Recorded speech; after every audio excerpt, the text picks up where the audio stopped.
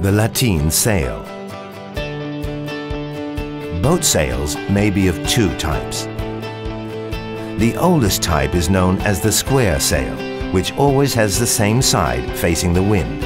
Therefore, it is appropriate for large vessels sailing with a previously established course. The other type was developed much more recently, known as the fore and aft sail. The first fore and aft sail was the lateen sail.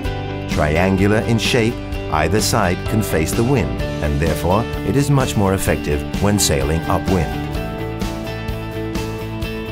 The origin of the lateen sail is unknown. It was probably introduced by the Arabs on the Mediterranean, where it is quite widespread, but no one knows whether it was originally designed by the Arabs or the Polynesians.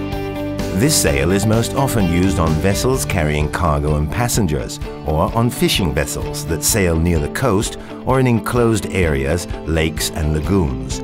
They were also used by pirates and corsairs in their raids.